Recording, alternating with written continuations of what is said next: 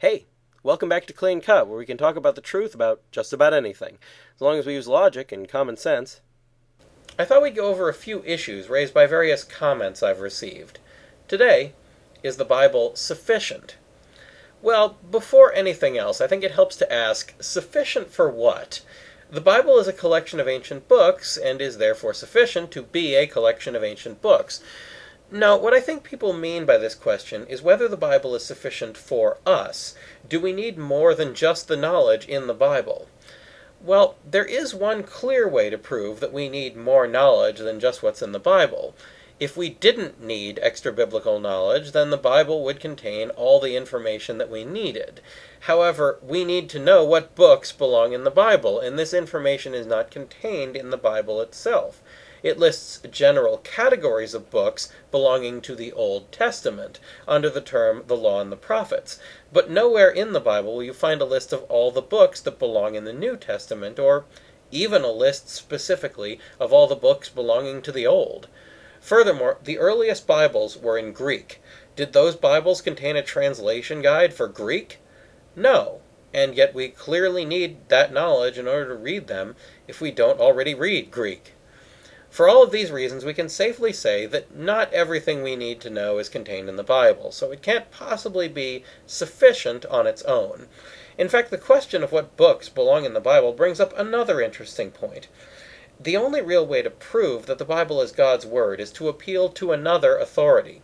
If you don't appeal to another authority over the Bible, every attempt made to prove that the Bible is God's Word boils down to circular reasoning. Yet if you do appeal to such an authority, you then have more than one authority, not just the Bible, from which to derive evidence about the truth. For obvious reasons, I pick the latter. I don't necessarily say that the Bible can't stand on its own, but rather that the canon of the New Testament is foundationless unless you appeal to some other authority. After all, how do we really know which books are supposed to be in the Bible? Remember, these were all separate documents, even as late as 100 AD. Canons of Scripture didn't begin to appear in the early church until at least 180 AD, when the four gospel canon was proposed by Irenaeus, and it might be even later than that, as late as 200 AD, before the church father Origen began using a complete New Testament canon, essentially the same as the one we use today. That's still enough time for Christians to be born, live, and die at a ripe old age without ever knowing what books the Bible consisted of.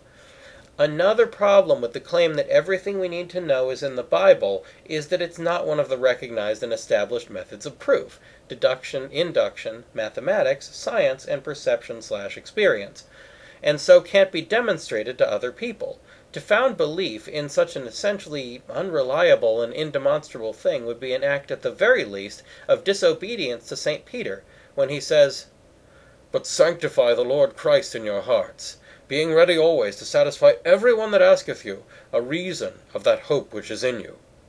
1 Peter 3.15 there are also questions of whether or not human beings have any reason to think the Bible is from God, and whether or not human beings have passed that word on faithfully. If all you have to rely on is the Bible itself, the answer to the first question would be no. The answer to the second question is most definitely not, since so many different versions of the Bible exist, in contradiction with each other, and in any case, many people have never seen one and couldn't read it even if they did. Now, I've found answers to all these questions, but I couldn't find them in the Scriptures alone. Next, can we be saved without reading the Bible? That's all for now, so keep asking questions, and thanks for watching.